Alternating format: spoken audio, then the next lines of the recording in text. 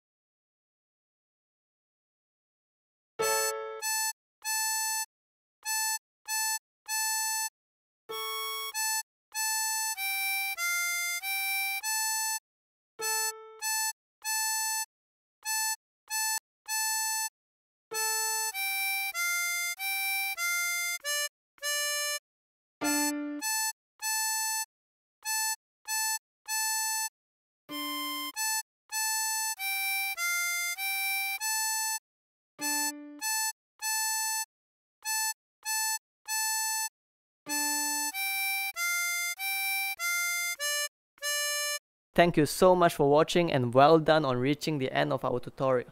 If you like what we do, please help us by leaving a like, comment, subscribe, or share our videos with people who may find it beneficial. Have a great day.